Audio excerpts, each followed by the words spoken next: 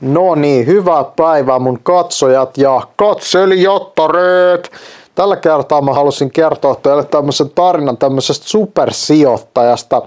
Ja supersijoittaja oli tämmöinen tyyppi, joka oli kelannut se elämässä silleen, että, että mä en oikein jaksa niin tehdä töitä, joten miten, miten jos mä vaan sijoittaisin. Ja se sijoittaminen oli sinänsä ihan vitullista työtä. Se joutui tekemään niin kuin saletisti enemmän työtä kuin mitä keskiverto ihminen tekee niin kuin päivässä sen että se tutustui kaikenlaisiin potentiaalisiin sijoituskohteisiin. Ja sitten jossain vaiheessa se tajusi silleen, että mitä jos se, kun sillä oli semmoinen kukkaruukku siinä sen talon pihassa, niin se mietti sitä, että mitä jos mä sijoittaisin tuohon kukkaruukkuun jotain. Ja sitten se sijoitti siihen kukkaruukkuun, joka oli ensinnäkin sijoitettu siihen paikkaan, niin se sijoitti siihen kukkaruukkuun niin sellaisia, sellaisia niin arpalipukkeita. Ja se niitä arpalipukkeissa luki sille, että voitto todennäköisyys yksi viidestä miljoonasta tai jotain tämmöistä, mutta kun supersijoittaja oli fiksu mies, niin se kelasi, että no yksi viidestä miljoonasta, että se on ihan hyvät chanssi, jos keskittyy niihin voittajiin eikä niihin häviäjiin. Että täysin määrittää ylipäätänsä häviäjiä elämässä, että hävi, häviäjät keskittyy aina vaan häviäjiin ja voittajat keskittyy aina vaan voittajiin. Että keskittykää voittajiin. Niin supersijoittajakin teki. Niin supersijoittaja sitten asetti niitä arpalipukkeet sinne, sinne tota sen niin kuin kukkaruukkuun ja sitten kertoi siitä internetissä, että hei kansalaiset, että täällä kukkaruukossa olisi tämmöisiä arpalipukkeita teille, tulkaa hakee. Ja sitten kun supersijoittaja oli vittu rikas kuuluisa kova pane ja silleen, niin kaikissa lehdissä ruvettiin kertoa supersijoittaja kukkaruukusta silleen, että tulkaa hakemaan näitä arpalipukkeita sieltä. Ja ihmisiä vaan ryntäsi, ryntäsi tietysti niin kuin helpon, helpon rahan perässä sitten niinku, sit tota supersi, supersijoittajan niinku sit, ää, niinku tota kukkaruukulle ja näin. Ja sitten jossain vaiheessa, jossain vaiheessa, kun supersijoittaja vähän katsoi sitä jengiä ja kelasi, että just tämmöisiä luusereita tänne, mutta tänne tota mun niin havittele, tulee tänne havittelemaan tämmöisiä voitto, voitto-osuuksia, niin sitten tota joku kysyi supersijoittajalta sijoittajalta sit niistä, niinku, sit niistä ihmisistä, että et, miksi sä niinku teit tämmöisen jutun. Ja sitten supersijoittaja sanoi, että no tietenkin sen takia, että kun mä tietty tiesin, että kun tuutte tänne, niin mä voin kertoa teille mun uudesta tuotteesta. Ja sitten se rupesi esittelemään, esittelemään siis se uutta tuotetta, joka nimi oli semmoinen kuin supersijoittaja. Ja supersijoittaja oli tämmöinen softa ja sitten se veti, veti, sieltä se, veti sieltä sen, kun se oli eka, eka niin kuin, niin kuin tota, kävi ilmi, että mikä niistä arpalipukkeista ei ollut tietenkään voittaja arpa, mutta se ei haitannut siinä vaiheessa supersijoittaja, super, supersijoittaja veti sieltä sen veti sieltä sen vittu DVD-kotelon tyyppisen jutun esiin, esiin, missä oli se sen supersijoittaja softa ja rupesi esittelemään siitä ja rupesi niin selittää sitä, että tällä, tällä softalla, jos te tähän softaan niin inputtaatte tonnin, niin tämä softa, tämä softa niin kuin, tota, niin kuin to, tää, kun te inputtaatte tähän softaan tonnin teidän omaa rahaa, niin tämä softa skaalaa sen kymppi tonniksi. Ei saatana, ei vittu vittu. Ja silleen, no siis ihmiset rupes sijoittaa ihan vitsaa, ne rupes ostaa, ostaa silleen niin kuin ensimmä, ensimmäinen, ensimmäinen tyyppi, joka oli tullut sinne, sinne tota helpon lottovoiton perässä, niin kaivo heti kuvetta ja antoi anto tota supersijoittajalle tonni, tonni, siitä, tonni siitä vitu softasta, softasta ja silleen ja silleen ja näin. Ja jotkut kiinalaiset se oli sitten koodannut, koodannut supersijoittajalle silleen, kun se oli sijoittanut sitten semmoiseen supersijoitusyhtiöön sitten Kiinaan. Ja tosiaan sitten supersijoittaja, supersijoittaja softa, softalle sitten tuli niin kuin internetsivut, internetsivut, mistä se sai sitten ladattua ja sitten sai tämmöistä pientä, pientä sadan dollarin kuukauden maksu, kuukausimaksua sitten vastaa tota, oman käyttäjä sinne ja sitten rupesi sijoittaa siellä automaattisesti erilaisiin kohteisiin ja näin. Ja supersijoittaja sitten siinä vaiheessa tietenkin, tietenkin tota, veti melkein kaikki rahansa sit pörssistä kokonaan pois, koska se kela sanoi, että mitä vittua mä näytän, kun niin kuin, ihmiset, ihmiset vaan niin kuin periaatteessa antaa mulle rahaa siitä, että mä on kehittänyt tämmöisen supersijoitussofta ja näin. Ja tota, siinä kuitenkin kävi silleen, että, että ne, niin kuin, ne voitto-osuudet, mitä ihmiset niin kuin sit sai, niin ei ollut niin, niin vitullisia kuin supersijoittaja olisi niin kuin sanonut. Että, että ei ne ollut semmoista, että joku oli saanut vain kaksi tonnia, kun se oli laittanut sinne tonnin sisään ja näin. Ja sitten siinä vaiheessa tota supersijoittaja, niin oli vähän, niin sillä rupesi tulla semmoisia niin sähköposteja, puhelinsoittoja ja kun silloin oli tietenkin lakimies, lakimies, joka hoisi näitä kaikkia asioita, kun se oli tehnyt kaikenla, kaikenlaista bisnestä, joka ei ollut niin kuin välttämättä niin rehellistä, oli se laillista ollut kaikki se bisnekset, mitä se oli tehnyt, mutta ei ne välttämättä niin rehellisiä niin kuin tämmöisiä business endeavoreita ollut ollut, niin siinä vaiheessa supersijoittaja sitten saada sille lakimielelle, että ei vitu kuusipää, että viittisit sä hoitaa noin noi ihmiset, ihmiset tota pois, pois niin kuin tota, sieltä haastamasta mua oikeuteen, että kun mä, niin, mä vaan myin niille tämmöisen softaa, että olisivat vittu tyytyväisiä, että mä oon edes tonnin niille saatana, saatana niin kuin, niin kuin, niin kuin tota, hankki, hankkinut. Et ehkä, mun, ehkä mun lupaukset oli vähän liian suuria, mutta ei, ei se nyt ole kapitalismissa ollut aikaisemminkaan niin kuin, väärin niin kuin valehdella. Ja sitten ja sit lakimies, lakimies hoiti, hoiti ja ja niin kuin, niin kuin lähetti, lähetti sitten näille kaikille, kaikille ihmisille sitten sen niin kuin supersijoitussoftan siellä ihan viimeisellä sivulla olevan teksti, jossa lukee, että, että voitto-osuudet eivät välttämättä ole näin isoja, että on täysin mahdollista, että menetät kaikki rahasi, kun sitten supersijoitat tällä ohjelmistolla ja näin. Ja tätä kautta sitten kaikki nämä, kaikki nämä ihmiset, jotka olisivat menettänyt, menettänyt tuota asun, asuntonsa ja autonsa ja kaikki muu, niin, muut, niin joutuisit kadulle eikä saanut supertios sijoittajalta sit vittu mitään. Ja silleen. Ja supersijoittaja, supersijoittaja sitten niinku julkaisi julkais softan uudella nimellä kokonaan ja kaikki tämä unohdettiin, unohdettiin ja syklit toistuu uudestaan ja uudestaan ja uudestaan. Tota, äh, sitten siinä vaiheessa, kun supersijoittaja oli joku 50-vuotias, se oli, niin rupesi tekemään tuota hommaa joskus, niin sanotaan, että 30 kun se kyllästyi niin niin tuohon tavalliseen elämään, niin se oli joku 50 ja sillä oli huvi, huvijahdit, huvijahdit ja kartanot ja kartanot ja kaikkia kymmenen vaimoa. Sekin, se oli tehnyt siitäkin laillista, kun se oli muuttanut semmoiseen maahan, missä se ei ollut väärin. Ja näin. Niin siinä vaiheessa, siinä vaiheessa sitten tota, supersijoittaja, supersijoittaja sitten niin vähän reflektoi se, reflektoi se elämää niin taaksepäin. Ja se kirjoitti sitten semmoisen self-help-kirjan sitten niin tämmöisestä, että, että halu, sen, nimi oli, sen nimi oli sellainen, että mä tiedän, että sä haluat miljonääriksi. Ja se julkaisi, se, julkaisi se sitten, se, niin kuin palkkas, palkkas jonkun graafikon sitten siihen, tekee sitä kantaa ja sitten se kävi vähän kirja, painoi läpi, että mikä nyt olisi hyvä ja palkkasi semmoisen assistentin sitten se kirjan kirjoittamista varten ja sitten vaan niin kuin selitti sille assistentille, että miten se pitää kirjoittaa ja näin. Ja sitten ne kirjoitti siinä supersijoit, supersijoittamisvinkkikirja vinkkikirja sitten ja näin. Ja kirja meni ihan vitu hyvin kaupaksi, vitu hyvin kaupaksi ja sitten supersijoittaja siitä, siitäkin veti ihan vitullista, vitullista liksaa ja näin. Ja sitten, sitten siinä vaiheessa, kun se supersijoittaja oli joku 55 tai 60, niin silloin, silloin rupesi tulee tämmöisiä erektiohäiriöitä, kun se alkoi olla jo niin vanha, niin se sitten tota, oli, aikaisemmin, oli aikaisemmin vaan niille kaikille sen kaikille se tota, kymmenelle vaimolle, niin se oli kaikenlaista, kaikenlaista paskaa, paskaa niille ostellut ja botoksia oli laitettu ja kaikkea muuta ja kaikenlaisia vitu implantteja oli laitettu, mutta siinä vaiheessa se sanoi niille kaikille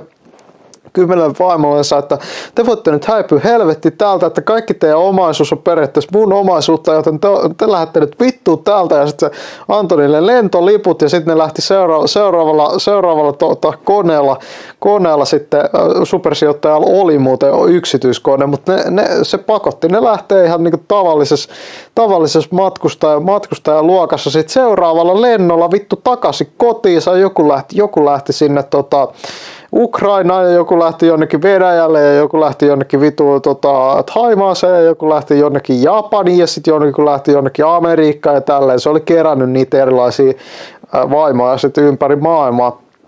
Sitten kaikki sai lähteä takaisin kotiin. Ja tota, sit supersijoittaja mietti, mietti kun se reflekt, reflektio, se erektiohäiriötä, niin, ja siis se siinä huvijahdilla sitten joku, joku, päivä, joku päivä siellä, siellä jossain, jossain Karibialla, Karibialla sitten, niin, niin se, se, mietti, se mietti sitä, että mitä tämä mun elämä oikein on niin kuin, käytännössä niin kuin käsittänyt. Että mä oon vaan, mä oon vaan vittu kusettanut, ihmisiä, mä oon vaan kusettanut ihmisiä, ihmisiä niin kuin vittu päivät pääksytysten ja silleen, ja kaikki on ollut ihan vittu täydellistä, vittu täydellistä ja näin, mutta jotenkin, jotenkin se vaan tunsi, että sillä on jotenkin aika onto olo silti. Ja sitten siinä vaiheessa, sit siinä vaiheessa, kun siitä kirjasta, kirjastakin oli tullut bestselleri ja muuta, mutta se ei vaan niinku, vaikka sillä oli ihan vitusti rahaa, niin, rahaa, niin ei kukaan lääkäri ollut siitä saanut kuitenkaan korjattua, korjattua tätä tota, supersijoittajan niin erektio-ongelmia. Ja sitten ja sit siinä vaiheessa supersijoittajan supersijoittaja niin tajusi, että, tajus, että siitä, siitä pitää tulla, siitä pitää tulla niin kuin, tota, että se pitää luopua kaikesta se omaisuudesta. Se pitää luopua kaikesta niin kuin omaisuudesta ja sitten se pitää ryhtyä niin kuin munkiksi. Ja sitten oli semmoinen joku, joku luostari, se taisi olla Taimaassa tai jossain, niin se lähetti sinne, se lähetti sinne ihan vitusti, se lähetti kaikki omaisuudet, omaisuudet vittu sille luostarille sitten. Ja sitten se, ja sit se tota, eli, se, eli se koko loppuelä, loppuelämän siellä. Ja sitten se siellä, siellä kirjoitti sen viimeisen bestselleri, bestselleri sitten. Ja se oli aika vitu, vitu hankala tilanne sitten, kun sitäkin ostettiin ihan vitusti, kun se oli, se, kun se oli ihan vitullinen menestys sen takia, koska, koska siinä kerrottiin just tämmöinen tarina ihmisestä, joka oli saanut kaiken, mutta sitten se oli tajunnut, että ei se, ei se, ei se oikeasti tarvinnutkaan mitään. Ja sitten ja sit sitä myytiin ihan vitusti ja sitä, ja sitä kautta se sai vielä enemmän, enemmän liksaa vedettyä sille luostarille ja se luostari sitten siinä vaiheessa osti, se, osti semmoisen, niin kuin tiedätte, kun Taimaassa on ihan vitusti köyhyyttä ja muuta, niin se sitten niin kuin, se luostari sitten niin kuin, teki hyvin fiksun sijoituksen semmoiseen niin kuin, 20 tonnin kultaseen, niin kuin puhdasta kultaa semmoiseen niin kuin buddha-patsaaseen sitten, joka sitten asetettiin sen luostari siihen nähdään tota, keskus, keskus tota, mikä se on se, se, se tiedätte, se halli, hallitsee tota se, mikä noissa luostareissa sitten on.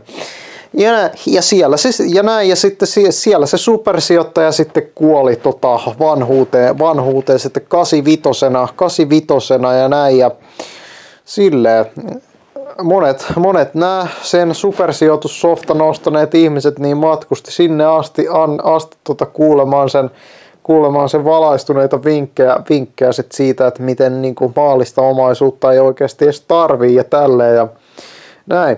Tota, sitten oli tämmöisiä, tämmöisiä tyyppejä, kun supersijoittaja oli sitten kuollut, kuollut ja kuopattu ja näin ja päässyt taivaaseen ja päässyt taivaaseen, kun Jumala oli, Jumala oli kattonut, kattonut supersijoittaja CVtä ja ollut silleen, että ei vittu, sä olit kyllä ihan vitullinen kusipää, mutta sä olit, toisaalta sä olit kyllä ihan vitu fiksu, että noihän, noihän se elämä kannattaa elää, että ei vittu saatana. Ja sitten lähetti kaikki ne supersijoitusostajat, Supersoftan sijoitus, supersijoitussoftan ostajat, niin se lähetti ne kaikki helvettiin automaattisesti, jos se näki, näki sellaisen merkinnän siellä niiden CVssä, kun ne pääsi sinne taivaaseen.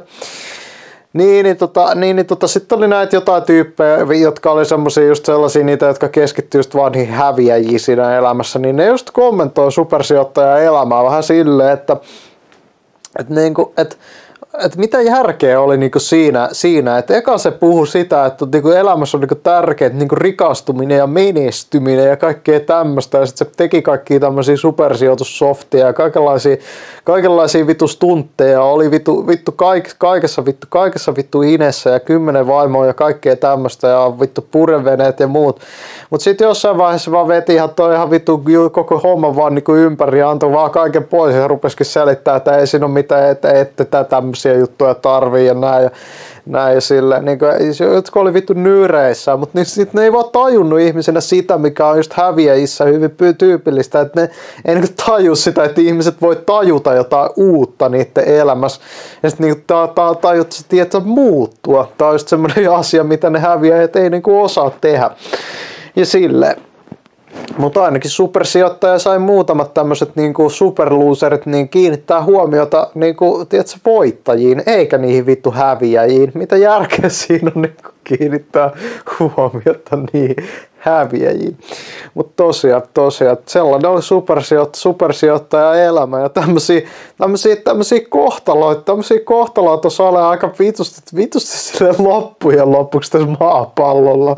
Tässä maapallolla tämmöisiä, tämmöisiä, niinku, tämmöisiä vittu sarletaneja vai miksi niitä sanotaan, jotka niinku periaatteessa koko elämänsä, elämässä niinku pelaa semmoista peliä, missä ne taju, taju että ne vaan niinku kusettaa, kusettaa kaikki vittu päivät pääksytystä, mutta mut sitten mut sit, tota, sit on, sit on niitä rehellisiä ihmisiä. Ja sitten kun ne rehelliset ihmiset on yleensä, yleensä, niitä, yleensä niitä, jotka niinku periaatteessa ottaa kaiken aina niin vittu tosissaan. Ne ottaa kaiken aina niin vittu tosissaan ja silleen Niillä on yksi vaimo ja niillä ei ole, pu- no on niillä joku purjevene, kun kaikilla muillakin naapureilla on sellainen, mutta ei niillä, ei niillä ole niinku mitään, ei niillä niinku ole vittu, ei niillä ole munaan, munaan niinku tehdä semmoisia juttuja, mitä supersijoittaja teki. Et, et vaikka, vaikka, super, vaikka supersijoittajalla sit jossain, jossain, vaihe, jossain vaiheessa oli erektiohäiriö ja muuta, niin, niin ei, se, ei se haitannut supersijoittajaa siis siinä mielessä, että, että sillä oli silti, sillä oli silti paljon enemmän munaa, munaa tehdä asioita, asioita kuin tavallisilla ihmisillä. Mutta siis joo, tosiaan, tämä oli, tää oli tarina supersijoittajasta, että ottakaa oppia, ottakaa oppia ja älkää eläkö niin kuin supersijoittaja eli. Mutta joo, tosiaan, tosiaan, tota, ei, mutta siis ihan oikeasti, mikä tämä tarina opetus on, niin mä oikeasti vittu ihmettelen niitä ihmis, ihmisiä, niin kuin kaiken maailman, kaiken maailman vittu poliitikot ja super, superyrittäjät ja, ja kaiken, kaiken maailman bisnestykoonit ja tykoonit ja tällaiset, tällaiset ja kaiken maailman, kaiken maailman tota, öö, öö, nämä sitten toisella, toisella puolella aitaa sitten nämä kaikki tämmöiset slummi, slummi, slummin, slummin nuoret, kaikki niin, slumminuorinistit ja kaikkea tämmöistä. Vittu mä mietin tätä yhteiskuntarakennetta ylipäätänsä, että, että millä vittu ilveellä tämmöinen oikeasti vittu keksitty. Että kuka vittu on ajatellut, että tässä on niinku mitä, mitä vittu järkeä tai sille ei saatana.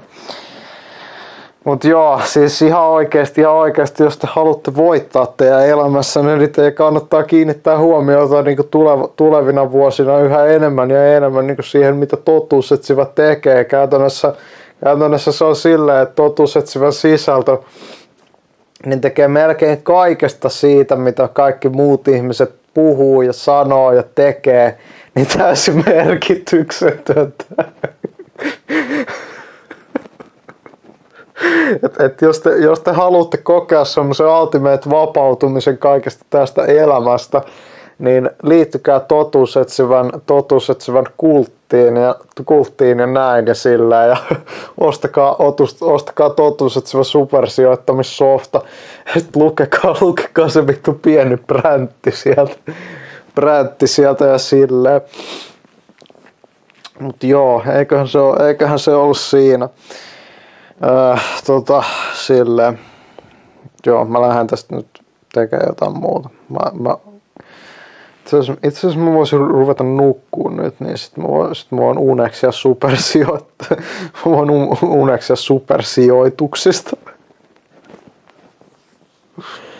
Ei vittu juttu. Mutta mut joo, se pitää vielä sanoa supersijoittajasta ihan tähän loppuun, ihan, että ihan tähän, ihan tähän loppuun vielä se, että, että kun supersijoittaja oli sille jotain 30, se näki aina painajaisia, painajaisia, missä se supersijoitukset rupesi tekemään miinusta, miinusta ja näin, ja sitten näki painaja, painajaisia, missä se menetti sen kaikki omaisuuden ja tälleen kaikkea tämmöistä. Se stressas, se stressas kaikista, kaikista niistä se omaisuuksista ihan vitusti vitusti. Ja urheiluautoja kiilottamaan piti vittu palkata kaikenlaiset, kaikenlaiset vittu jepet, jepet silleen ja ja nämä, ja nämä tyypit vaati ihan liikaa palkkaa siitä hommasta ja supersijoittaja vittu kilahti jossain vaiheessa supersijoittaja itse asiassa, itse tämä haluan vielä sanoa supersijoittajasta, että se, se palkkas, se palkkas yhtä sen ö, urheiluauton kiilottajaa varten sellaisen